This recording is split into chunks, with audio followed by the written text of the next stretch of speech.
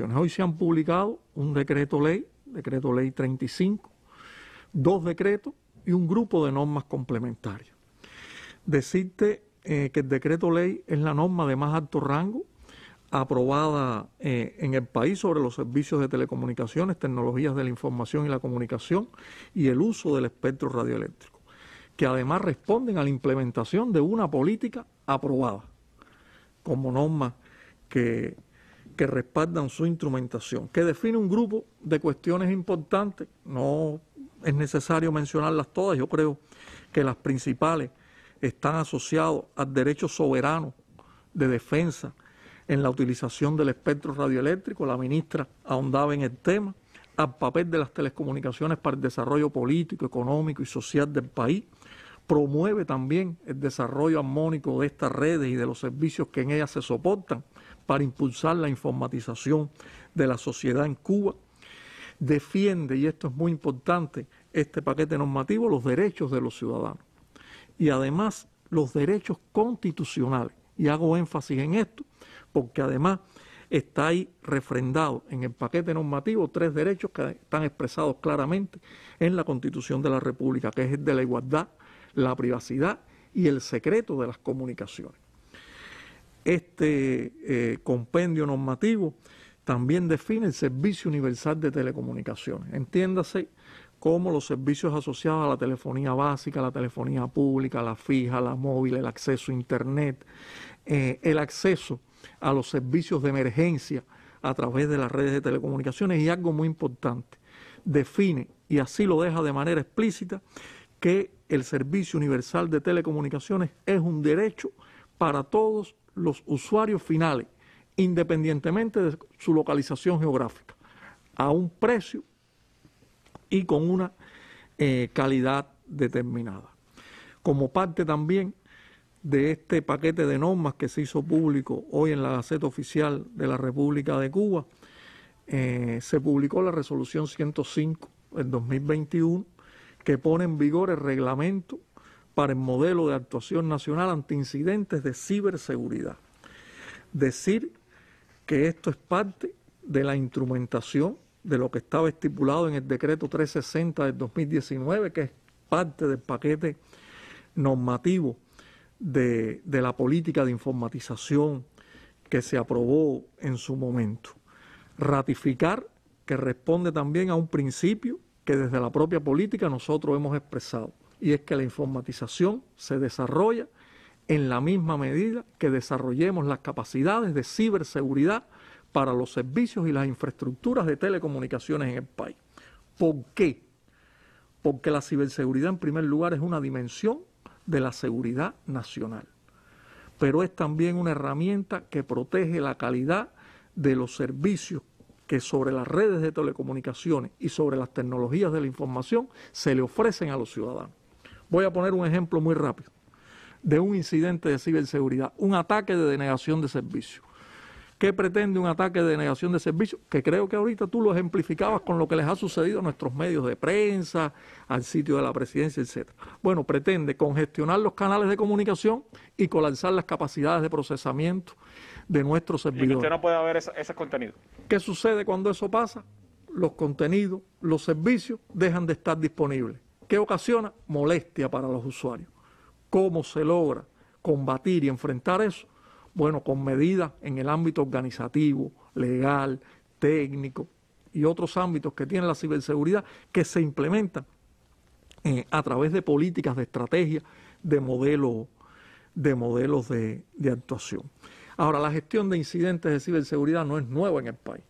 Es algo que se viene haciendo desde hace mucho tiempo. ¿Qué es lo nuevo que tiene este modelo de actuación?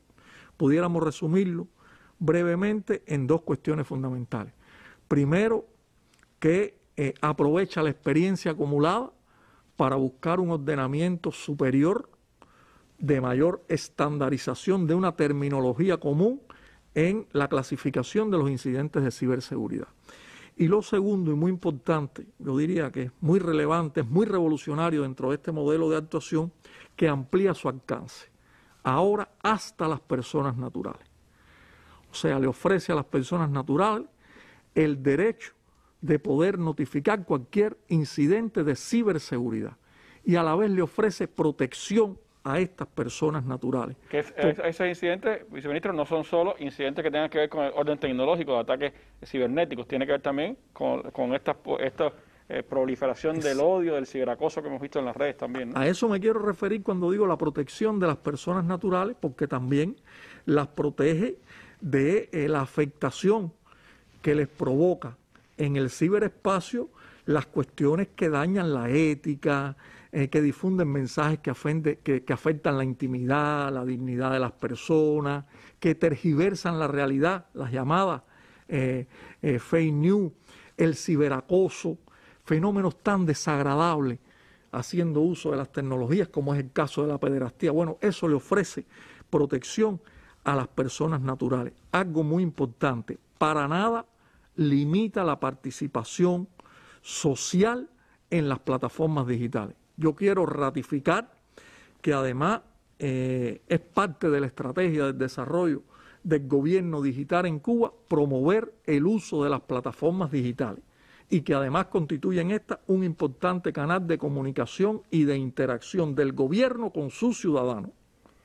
Pero voy más, en la propia política del desarrollo de Internet, en Cuba se defiende el uso de Internet como un espacio de debate, de intercambio, de reflexión, de expresión de quejas, de planteamiento de la población, que este modelo lo que viene es a complementar a partir de exigir que se haga un uso adecuado, respetuoso, ético, con apego a la verdad de estos de estos canales de, de, comunicación. Viceministro, los Antonetti y otros personajes de la Internet que han estado, fueron articuladores del 11 de julio y de los sucesos del 11 de julio, ahora hablan de una acción de censura, una acción de eh, que el gobierno trata de acallar las voces en la, en la Internet. ¿Es esto exclusivo de Cuba? ¿Existen legislaciones internacionales? ¿No hay un debate internacional sobre este tema? Mira, el término censura parece muy rápido cuando se toca Cuba, pero por ejemplo, en consonancia con lo que tú planteabas, Alemania